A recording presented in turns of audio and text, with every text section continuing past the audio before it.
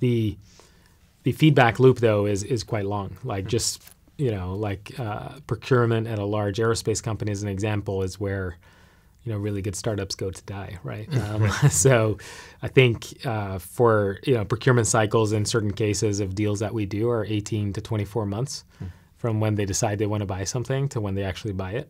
And so you don't really want to be from showing it to them to when they want to buy it might be another nine, ten months. Absolutely, yeah. So so that cycle is, is really really long, and you only want to start entering that process uh, when you're really ready to do that because that cycle also comes with uh, obviously really large deal sizes that are in the you know seven, eight, nine figures, but at the same time.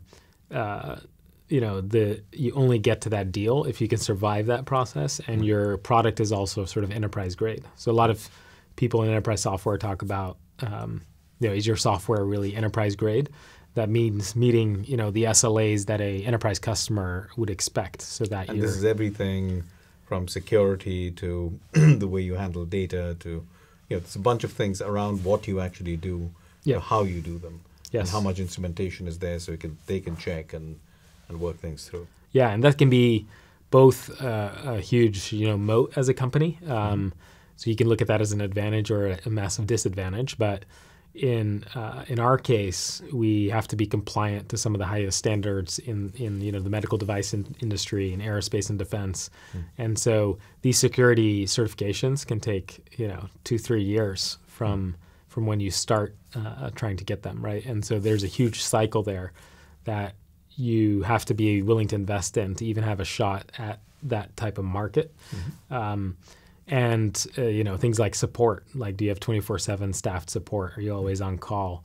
Um, and then you know the actual service level agreements of the performance of your software, right? Like so, if your software is instrumental and mission critical, it's great because you know customers will pay you a lot to to have that perform well.